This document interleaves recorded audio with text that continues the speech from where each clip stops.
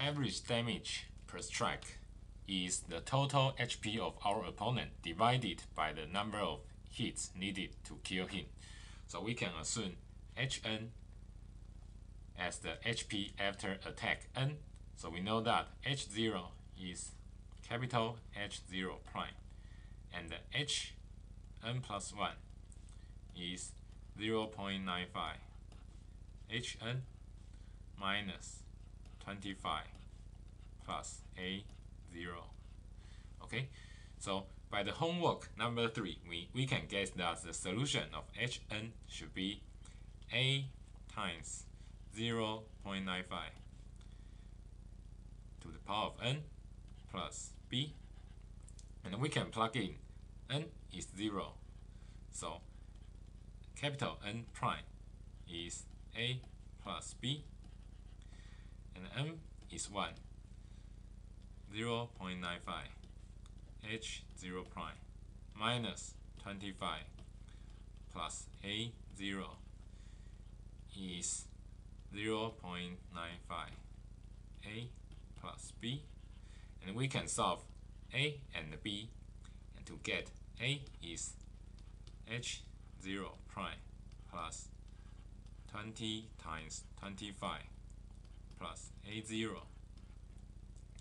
and the b is minus 20 times 25 plus a0 okay so we have known that hn is a times 0.95 n plus b and the a and the b are here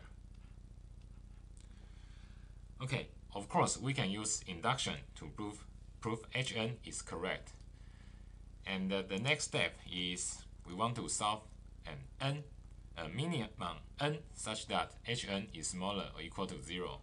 So we can write this as a plus times 0 0.95 n plus b should be smaller equal to 0.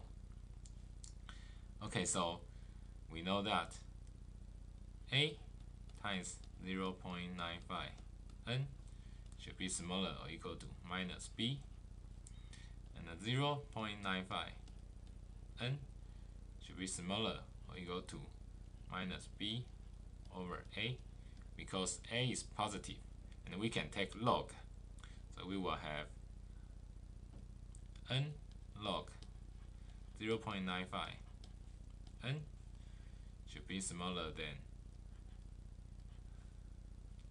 log minus b over a. Oh, there's no n here. And we will get n should be larger or equal to 1 over log 0 0.95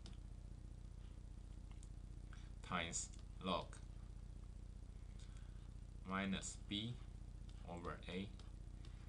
Because n must be an integer, so we will have solve n is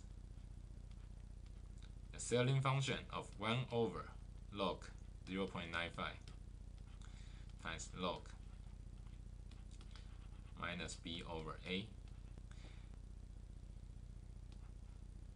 Okay, and we can know that the average damage per strike will be the initial health over the times of, of damage.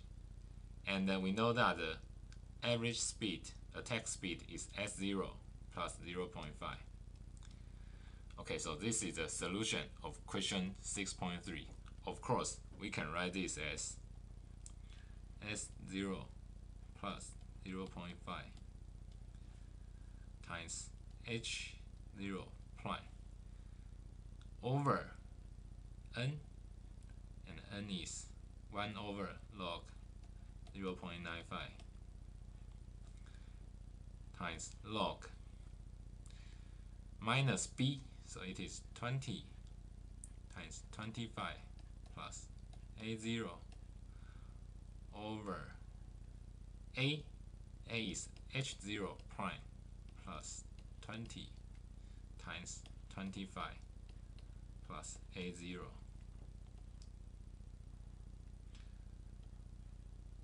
Okay, so this is question 6.3.